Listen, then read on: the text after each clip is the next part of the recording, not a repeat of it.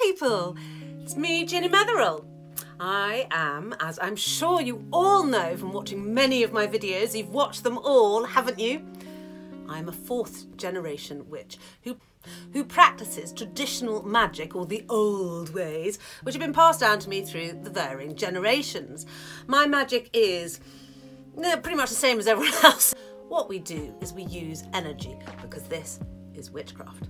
Now this video is a little rough and ready, so do bear with me. It's because I recorded it a few weeks ago and didn't think I was ever going to put it on YouTube, but I'm having building work done in my house at the moment, and my life is at sixes and sevens, uh, and I don't have a kitchen, and we're living off microwave meals, which are disgusting. Come on guys, you've got to make something better. So the video, I didn't think I was going to show you, but because of the upset and the upheaval in my household, I haven't had time to record anything new. Or, to be fair, I haven't really had a point in time where I could record when there wasn't a hammer drill banging away making a huge racket. I mean, there is actually one going at the moment, but it's only intermittent, so bear with me. Anyway, this video today is about a pendulum. I use a pendulum on a regular basis and I have quite a few of them. This is my one that I use currently.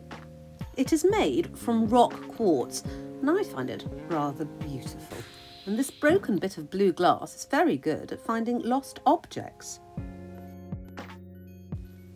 An amethyst crystal I use for mental health issues and a piece of goldstone works well with my wand, which is also made from goldstone, so the two combine well together, especially when I'm in a circle.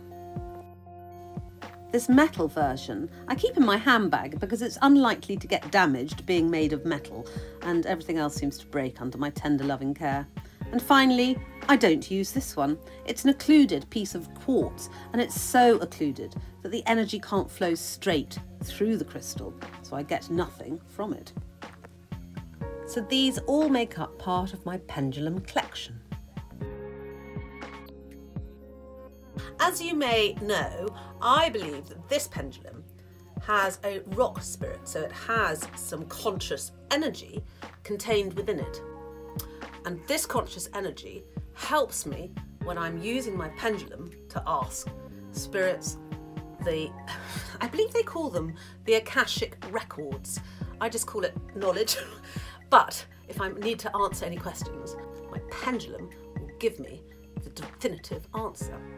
So this is my video about what happened a couple of weeks ago. So this morning I woke up and I picked up my pendulum which I use on a daily basis for divining, asking questions. I, it's one of the first things I reach for it lives by the side of my bed. And I asked it some questions and I was getting very, very strange answers. Now, my yes response from my pendulum is normally a backwards and forwards response, and my no response is a side to side response. And so when I was getting these skewed answers, I realised that something was wrong, and so I said, Pendulum, please can I have, as I'm going to do now, a yes response. And look, the pendulum swings from side to side, which is the opposite.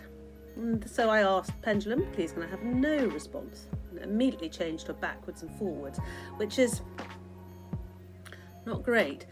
It means that my responses on my pendulum have flipped and there is something amiss. Now, I knew something was up with my pendulum this morning, not just because I was getting skewed responses, only because something rather strange happened with my pendulum the night before. It was a bit weird actually. So, yesterday, I found I had a pair of scissors by my bed, like not these ones, but I had a pair of scissors by my bed, and the scissors were on my bedside table, and I put my um, pendulum down beside them and just dropped it on. And in the morning, I woke up my pendulum was completely and utterly intertwined in a knot around my scissors. I saw it in a knot on the table and I picked it up and I, remember, I looked at it and I was like, what? But that's because this pendulum is a rock spirit and it was trying to attract my attention to the fact that it needed a cleansing. So, hence why I thought I'd do this with you today. As always, the first thing I do is light some candles because I love candles. They make me happy. And also, I'm going to add some incense because most likely I will need the smoke from the incense. The smoke will be useful because it will take away any negative energy should I need to do this step. I'm just using some frankincense because I like frankincense, uh, but you could use a joss stick or a sage burner or anything such as that.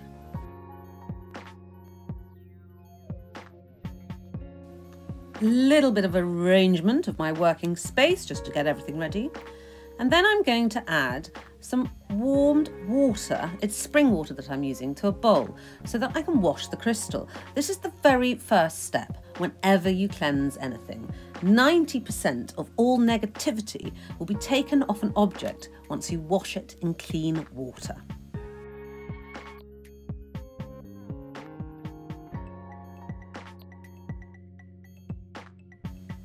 Once you've finished washing, take a soft cotton cloth or natural fibre cloth and dry the crystal.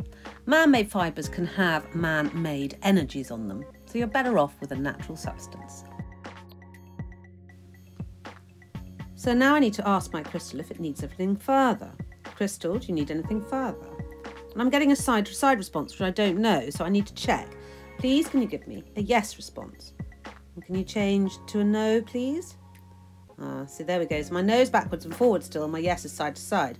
Do you need smudging? Ah, yeah.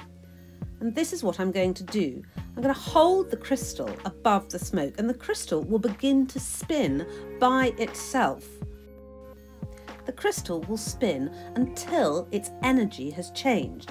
And you'll know when the energy has changed because the direction of the spin will either stop or you'll feel a difference. Like if you watch carefully here, it's going backwards and forwards, not round and round. So it is complete. But let's ask. Crystal, can I have a yes response, please? It's backwards and forwards. Please change to a no. Ah, look, and it's side to side. So I'm back to the original responses of my crystal. So that is how I cleanse my crystal. So I'm quite pleased actually because my yeah I don't like it going the other way. So can I have a yes? So I'd love to know your thoughts in the comments below whether you think that the knot that encased the scissors with the pendulum was just me dropping it onto the pendulum overnight or something else. Do you think that that was magic? Let me know in the comments below. In the meantime, I hope you enjoyed this video. Don't forget, my coven meeting is happening on the 8th of March. Don't miss out. Get busy and register for that. Just go to www.patreon.com forward slash Ginny Metheral and you'll find all my details there. I hope to see you. In the meantime, I hope you enjoyed this video. And if you did, please give me a subscribe and a like, and I will see you in my next one.